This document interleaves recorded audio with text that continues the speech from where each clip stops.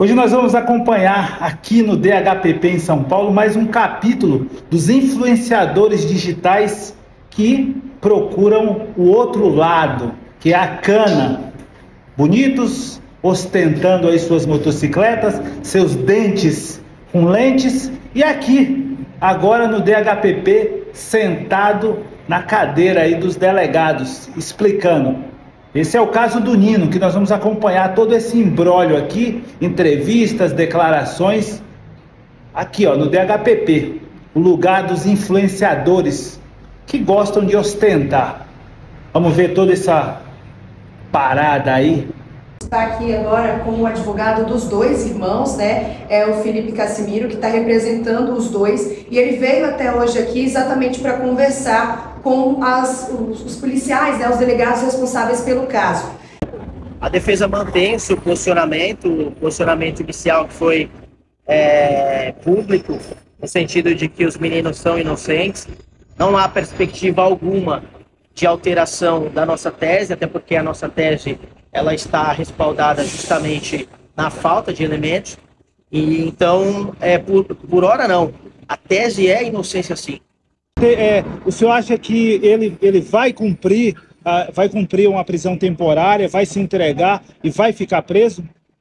É, perguntar para um advogado se o cliente dele vai ficar preso, assim, é uma, é uma pergunta que nenhum advogado quer responder, até porque a gente luta pela liberdade, independentemente se o cliente é culpado ou inocente. Mas é, eu acredito que há sim substrato jurídico para que essas prisões sejam declaradas é, ilegais pelo, pelo próprio Poder Judiciário. Não é porque o Poder Judiciário decretou a prisão temporária que ela não está passível de revisão pelos tribunais superiores, e é o que a gente está brigando na, nas cortes, é o que se encontra pendente. Eu acredito sim na possibilidade de revogação dessas medidas. Onde a doutora... E ele vai se entregar, doutor? A defesa não descarta essa possibilidade, mas é aquilo que eu falei para vocês.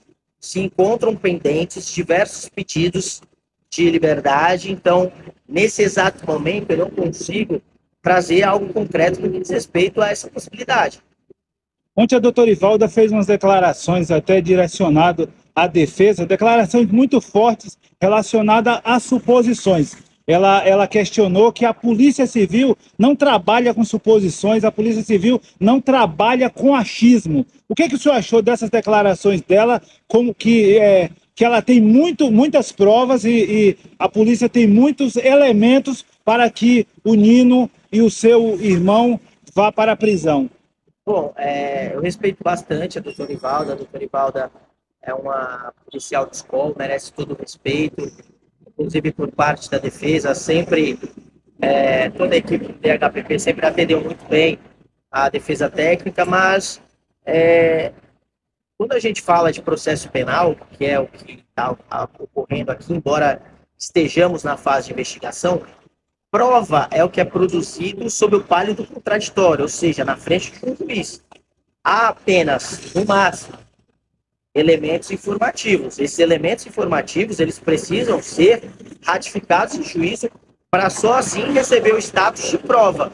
Então, é, eu respeito a posição da, da delegada Ivalda, da doutora Ivalda, é, eu respeito o posicionamento dela, mas eu não concordo. E é isso que é, mostra que a gente está numa democracia, justamente é, possibilitar que existam é, duas visões para uma mesma situação. Isso é uma democracia.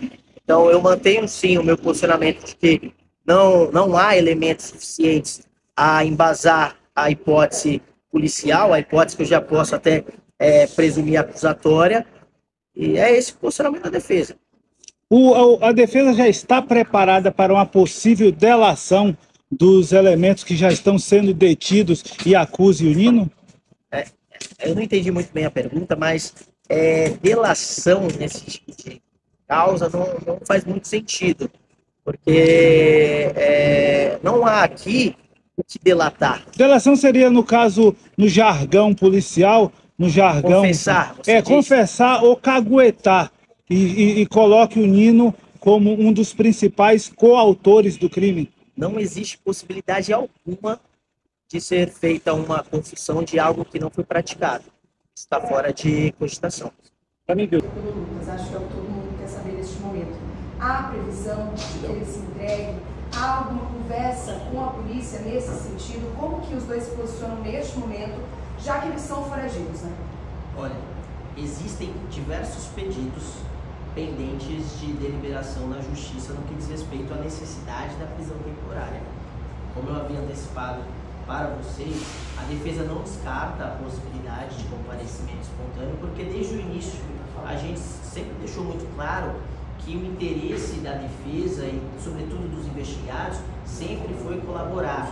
Tanto é verdade que antes mesmo da decretação da prisão temporária, lá no inquérito, os meninos haviam se colocado à disposição, informou o endereço, informou o número de telefone, mas nada obstante a isso sobreveio a decisão que decretou a temporária. Enquanto não houver é, uma concepção, é, uma concepção não, um desfecho desses pedidos, fica muito difícil a gente avançar essa, essa questão envolvendo o comparecimento, mas, como eu antecipei, isso não é algo descartado.